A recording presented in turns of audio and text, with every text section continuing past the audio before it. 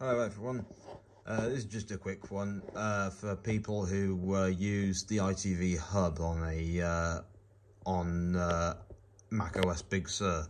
I've got a uh, a 2020 Intel MacBook. This is the 10th gen, two gigahertz, four Thunderbolt ports, um, and me and a load of other people have have had the same problem of if you watch something on ITV Hub uh, you watch uh, the first part um, plus the adverts and then you watch the second half you lose all the sound.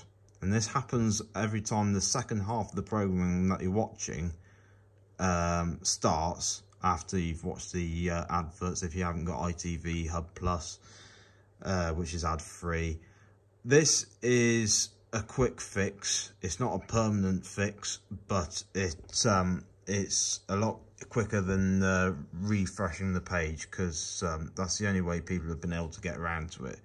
This is a way I've found to uh, get around it. Uh, start the program up. and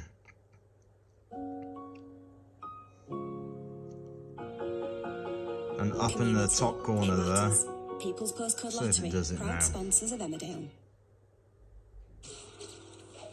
No, it's still on adverts.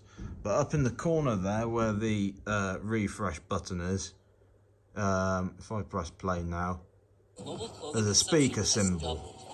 Now, all you got to do is mute it, unmute it, and believe me, whenever the second half of your program starts, if you press that, you mute it and then unmute it, you'll get your sound back again that's the quickest way and that's the only way I've found to get around it.